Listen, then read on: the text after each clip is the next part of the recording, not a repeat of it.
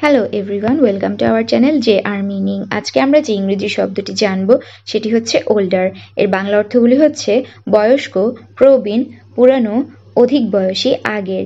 নিচের দুটি উদাহরণ দেওয়া হলো। প্রথম উদাহরণটি হচ্ছে my sister is two years older than me আমি আবারও বলছি my sister is two years older than me এর বাংলা অর্থটি হচ্ছে, আমার বোন আমার থেকে দুই বছরের বড়। দ্বিতীয় উদাহরণটি হচ্ছে as he got older he became more patient আমি আবারও বলছি as he got older he became more patient এর বাংলা অর্থটি হচ্ছে, বয়স বাড়ার সাথে সাথে তিনি আরও ধৈর্যশীল হয়ে উঠলেন। ধন্যবাদ।